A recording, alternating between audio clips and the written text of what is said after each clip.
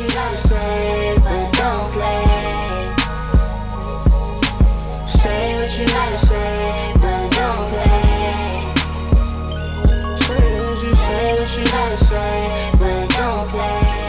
What is up, you guys? It's your spiritual friend Godmother, and I am back. Okay. Except for I'm back with another read, I am back with a talking video. Um, I was just watching um, Jordan. Um, if y'all don't know, she's B Simone's younger sister. I don't really want to introduce her like that because I just like her as her, but I feel like that's what maybe a lot of people would know her from. But yeah, um, she basically posted about forgiving her parents and going through abuse and how she has friends but she doesn't see them you know, all of that stuff. Not to put her business out there, but she posted it. And I was just on Instagram and I was watching her story and I kept loving everything. And it was like, okay, I need to talk about it. So we're gonna go ahead and talk about it. I'm at work, so if I'm looking around and shit, just for customers and making sure that like I'm on my P's and Q's and stuff like that. But yeah.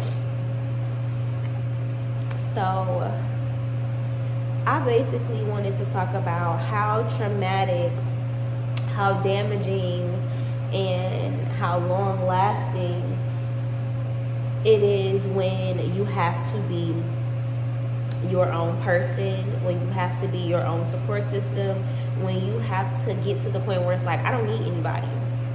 Because I feel like that's where I am now. Um, I feel like I've actually been there for a very long time. Um, and I want to get out of it. Like every time somebody doesn't do something for me, every time somebody doesn't show up, every time somebody tells me no, um, I immediately go to, I wish I didn't need them. I wish I didn't need them. Or when I get this money, I'm not going to need this person. When I get my car fixed, I'm not going to ask you for help. Like, I'm just going to cut you off. When I got, like, when I get where I need to be, like, it's dead because I see how you treated me when I needed you type shit. But for one, I'm learning that not everything revolves around me.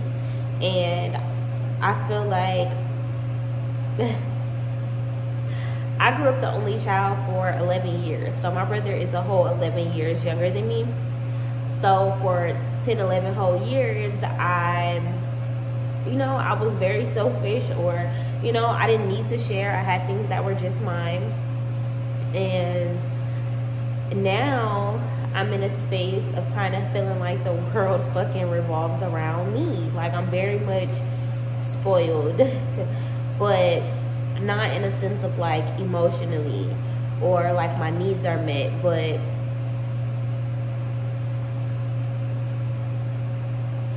I don't know. Cause I don't even want to say I'm spoiled. Spoiled by who, girl? Like what? spoiled by God, I guess. But realistically, I feel like I've gotten selfish to where it's like I take things personal. So if a person is going through something in their life and they kind of cut me off, I'm like, they're a bad person. They're not good. Like, that's not how you do that. You communicate or you just say, hey, I'm not fucking with you. Like, all these different things, right? But today, I just kind of sit back and I feel like everything is so divine in my life right now because I was already kind of on a path of just forgiving myself, forgiving my parents, forgiving people for putting me in certain circumstances and um, that has just been like an ongoing thing for me today because I got mad and got pissed off like four, five, maybe even six different times today and every single time I blamed it on somebody else. Like, why is this person so loud? Why are you doing this? Why are you doing that? Why? Like, it was always somebody else. So, I was standing on a bus stop this morning and um finna go to work. And I was just obviously thinking because what the fuck else am I finna do? The bus was a fucking hour late. So I'm just sitting there and I'm thinking, I'm like, it ain't nobody's fucking fault. Like, there is nobody's fault for my circumstances like I feel like my parents should have put me up on more game. Like I feel like they should have talked to me. I feel like they should have helped me or told me what not to do or what to do or different things like that. And now that it's like I'm not a child, I feel like I'm not being parented anymore. Um, and that's kind of what her post was about about feeling abandoned by her parents. And even though I'm not abandoned by my parents, like I um, am in contact with both my parents. Like, you know, both my parents help me whenever I need it or whatever the case may be. So that's not an issue. However, um, emotionally, sometimes I feel neglected or I feel not really cared about. And today was one of those moments where I had to be like, this ain't got nothing to do with me.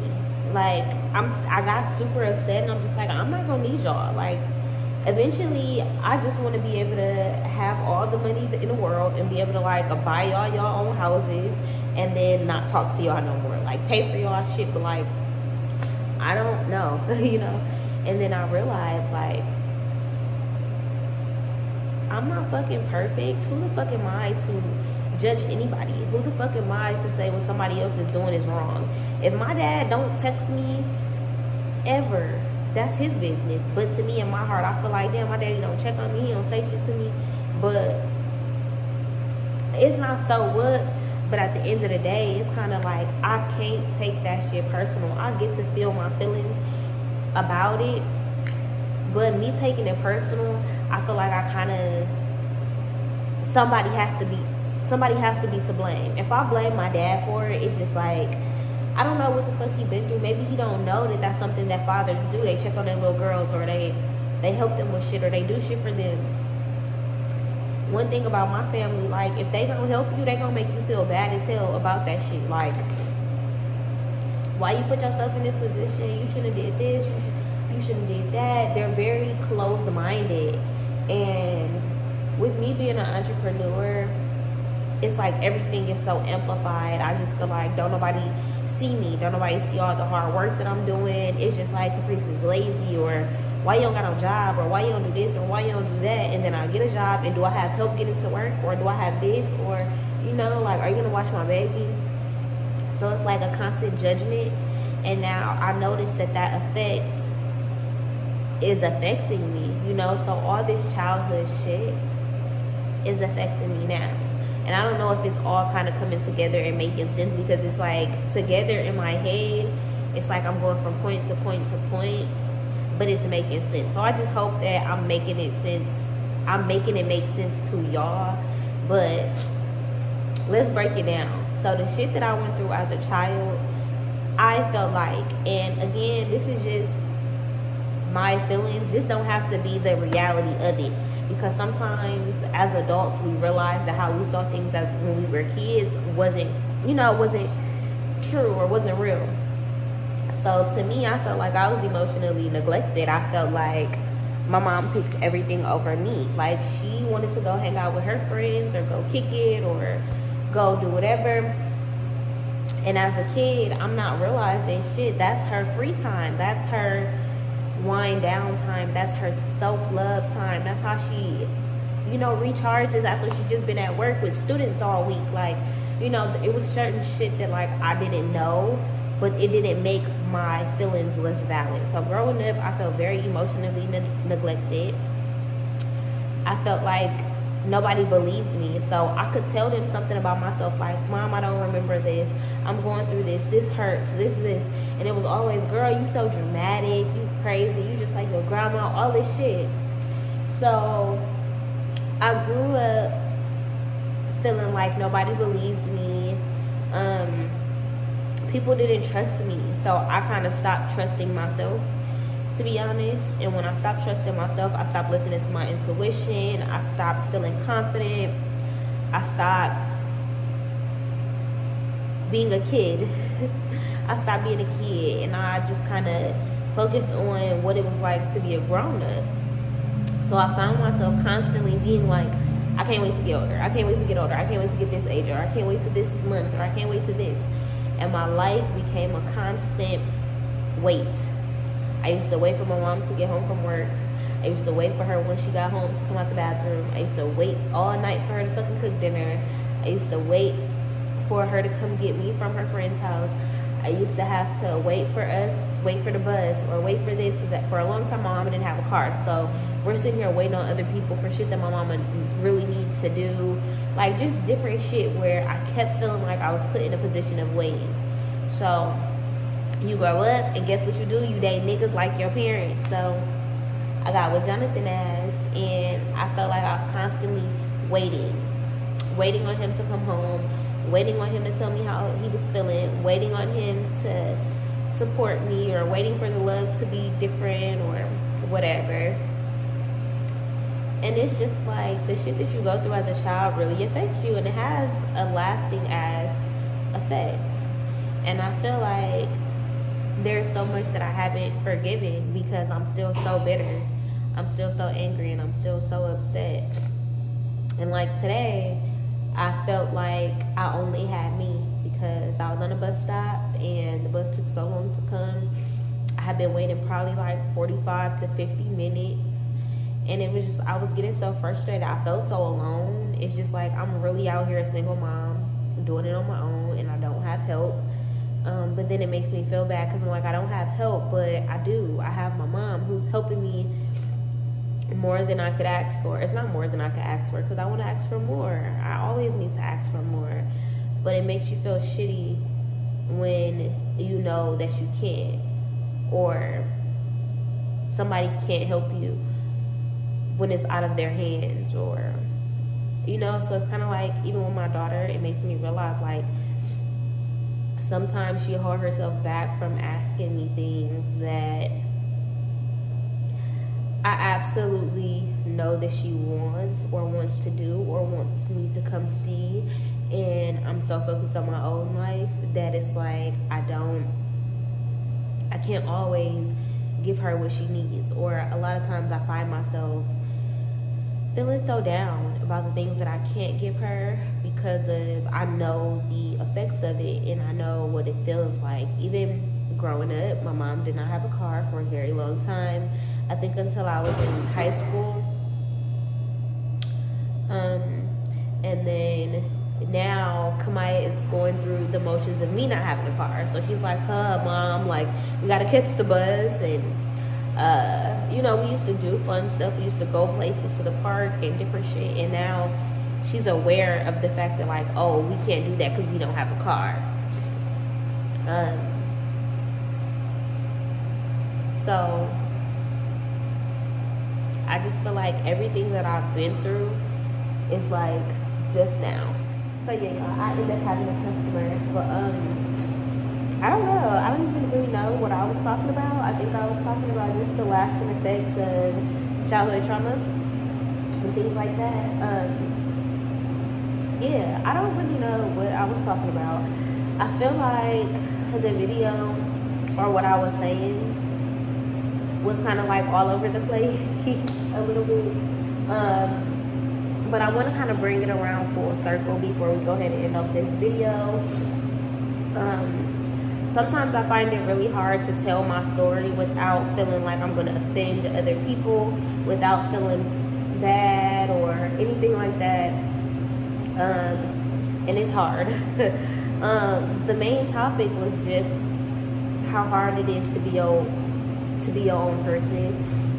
And it's like, for me, everything that I said earlier was kind of what led up to this. So now I'm in a space where it's like I'm trying not to take things so personal because you need people, you know? You need people, you need relationships, you need connections, you need relationships with your mom and your friends and your cousins. And I feel like sometimes when we're triggered by our old traumas, so like I've been triggered because shit, I need so much fucking help. I'm going through so much. My car broke down, so it's like, damn, like I be fucking needing help. Like I be needing somebody to watch my baby, and then it's like if somebody can watch her, but then I can't get them, her to them because I don't know, eh, whatever. But it's just like I'm at the space where I need so much help, but my anger, my bitterness, my resentment, my my unwillingness to forgive is is kind of having me in a chokehold because I have the right. That's the thing. Like God is showing me, like, bitch, not bitch, be like, girl, you was right. Like you was right about this person. You was right about this snake. You was right about that. So it's like my feelings are validated, but that don't mean that people are not still to be loved or there's not still knowledge to be gained from the situation. Like for me, I just I feel like I'd be so mad at my mom for so many things. Like real shit, I be so mad at her. And then it'd be like all I want is her approval and all I want is her to look at me like I'm not failing, like I'm not fucking up. Like she don't get my entrepreneurship. She doesn't get me doing tarot readings and all this shit. And it's like in my mind, I can't wait to be rich just so I can show her like, bro, like I wish you would have believed in me. Like I wish you would have saw me how I saw me instead of telling me you can't do this and you shouldn't do this and you need like instead of that I crave like softness. I crave somebody to be kind to me. And I need to realize that my mom don't gotta be none of that shit. I can find that in the people who I create relationship with. But for my mama, that's not how she loves. That's not how she gives love to me. And I don't have I don't have to keep holding on to who she was when I was a child and hold that over her. If I know that my mom is always late, or if I know that she's a certain type of way, or this is how she gives advice, or this is what religion she believes in, and it doesn't allow her to believe in what I believe in. So it's like certain things like that are like, I be feeling like, damn, I always got to be the bigger person. Like, well, why can't you feel the same way about the shit that I'm doing wrong? Like, why can't you still love me through what I got going on? You know but i can't change anyone and that's the hardest part. With me i don't have a significant other. I'm not even dating. Like i'm i cut that shit off. Like i don't text nobody. I don't date nobody. I don't go on dates. I don't niggas are like a waste of my time right now. Not saying forever but like right now. I want a man. I don't just want a nigga. I can get a nigga. I done had a couple niggas. Like you know but damn like i want a man. So I'm learning that like a lot of this shit that I'm holding on to, I have to let go. Like I'm a lot like my mom, but I don't like her for certain things that she do. But it's like, hey, Caprice, what if we're making you recognize these things about your mom because you do them and you need to change them because that's not who you are. That's who you adapted to be because that's what you saw, but that's not you. You don't have to love like that. You don't have to move like that and it doesn't have to mean that you don't like somebody or that mean that I don't like her or I think that how she parents is bad because it doesn't mean any of that. I literally look up to my mama for everything. But as soon as I get mad at her, I'm like, ew, bro, like what the fuck? Like, how? Like you're not nice. And it's like, no, that's just how I feel right now because I'm thinking about all the other times that she made me feel however I felt in the moment of whatever reason I got upset. Or like my dad or friends. Oh my God, y'all, this year has friendships has been such a big thing. Like I've realized I'm such a bitch. Like I'm such a bitch in my friendships and it's because of how trauma has lasted so fucking long. And it's like I'm not a bitch on purpose, but me being bitchy is validated. And the reason why I say that is because I've had friendships where I was really treated wrong and I had to cut that person off, but no communication happened where it was like, hey, I feel this way about what you did and I want to talk about it. The times that I have done that, the responses that I got was just like, did you even read the message that I sent you? Or like, did you even really understand what I said to you? After I communicated. So sometimes it's just like, damn, I've been fucked over and didn't get closure. So I'm still triggered. So when another friend or somebody I want to be a friend do some weird shit, it's like I'm triggered. And then the trigger kind of continues. It's like, I'm not even really mad at you. I am mad at you, girl, but I'm really taking a lot of other shit. I'm taking how those other friends treated me out on you because I felt like shit. You shouldn't be like that. Like, bitch, what the fuck? And even though I'm validated for being maybe upset because, oh, my friend was talking shit on Facebook and my old friends used to do that. It's like, bitch, I don't do the sneak this and shit. But it's like, instead of being like super triggered by, oh my god, my old friends used to do that and now you're doing the same thing, so bitch, you a bitch, I don't like you. Instead of doing that, like, I want to learn how to just talk like, hey, you're triggering me. Like, you doing some shit that I've seen before, but instead of judging you and just assuming that you're like that person, can I can I tell you how what you're doing affects me, and can we try to maybe make it better? But then it's like sometimes I just feel like that should just go in one ear and out the fucking other, which makes me resort back to feeling like, damn, I'm my only person. Like I have people, but not people who love me how I want to be loved. They're family members or long-term friends who are just in my life type shit. But it's like I want to choose who's going to be in my life. I want to choose my friends. I want to choose my mentors. I want to choose the people who are to watch my and my kids grow up. The the person who all I got to do is call like and she know it in my voice. What you need? What you need, friend? What's up? You know, just my friend who gonna just come over and just, you know, like y'all know what a person is. Most people have a person where it's just like, them.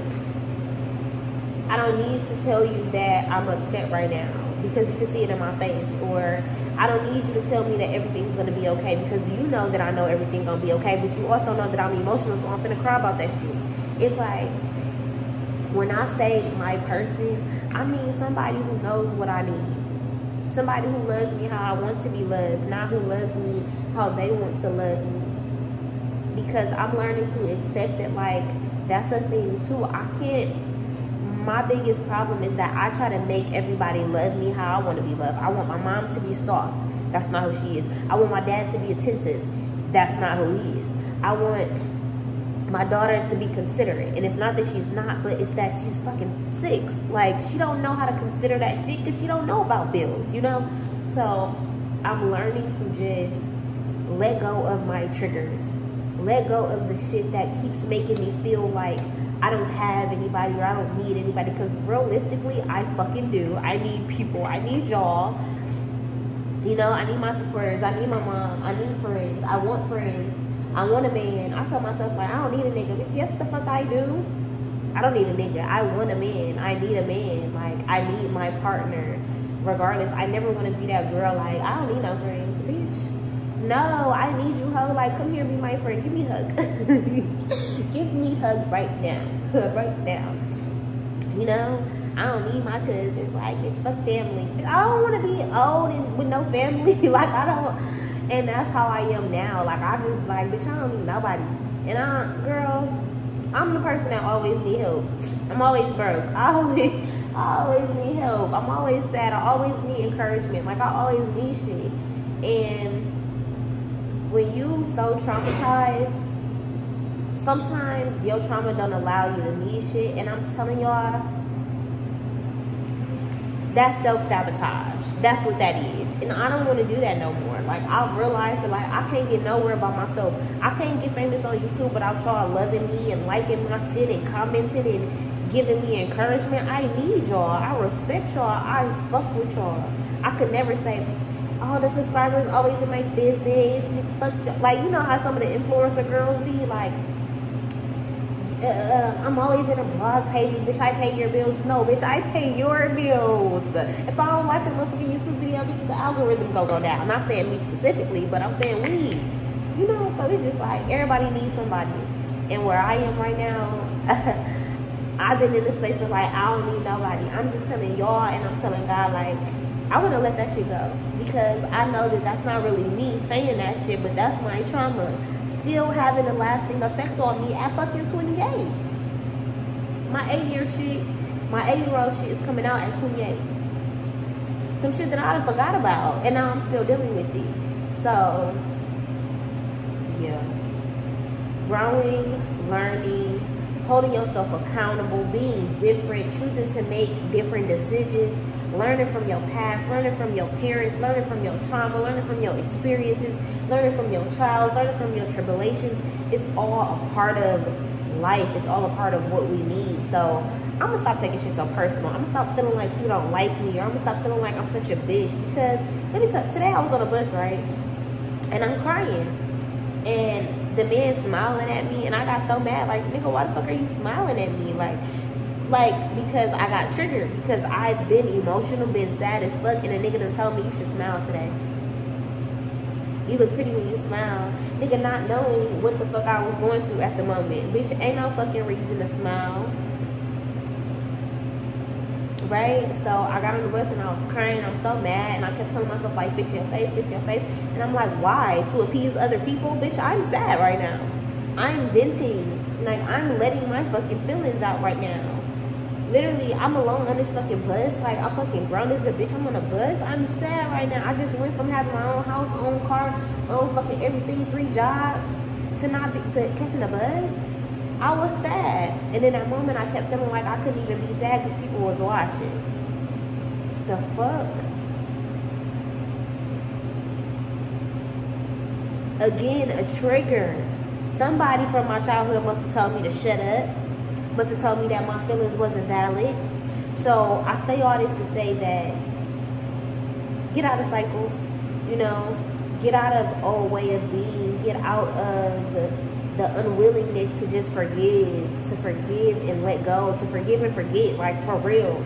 You don't gotta hold on to shit. And I, I'm learning that. Like a lot of this shit is just learning lessons. A lot of the people who hurt us are just meant to teach us some shit. And that's just what it is. Like I love the shit out of my mom. I love the shit out of my friends. I love the shit out of my dad. I let the shit out of everybody who has done me wrong. I let the shit out of Jonathan. I let the shit out of my exes. I let the shit out of old friends. I love everybody because to be honest, they all made me better people. Like I feel the best that I've ever felt about myself, about my body, about my thought process, about my mind, about my family, about my dreams, my goals. I just feel like I can do anything. I can conquer anything. So sitting in that that self-sabotaging, isolating, I don't need anybody energy, it's just gonna hold me back because I do need people. I need help. And being able to say that and be vulnerable, even if I don't get the help or even if I'm rejected, I'm gonna keep trying. I'm gonna keep trying to succeed. I'm gonna keep trying to have it all. Because the moment I stop, I'm giving up. The moment I tell myself, fuck friends, is the moment I'm gonna be lonely as hell. The moment I tell myself, fuck a nigga, is a moment that I'm gonna give up on having children. All these things. It's like I don't wanna do none of that shit. Like if you hurt my feelings, thank you.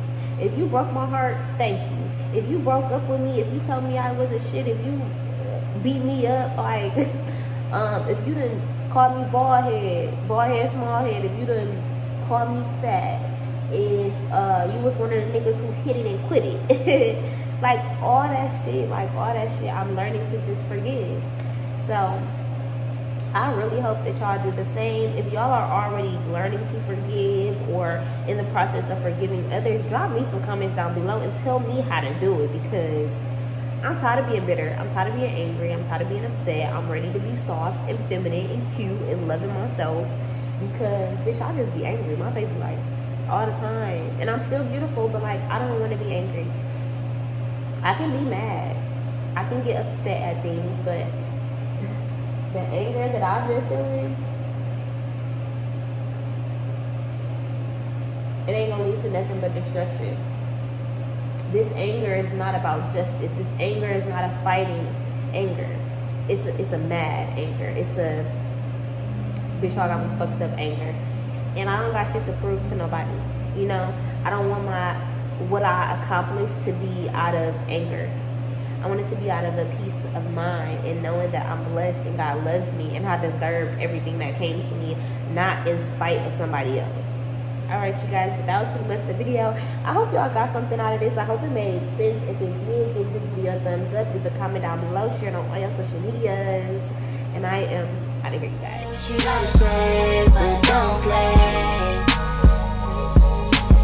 Say what you gotta say, but don't play. Say what you gotta say.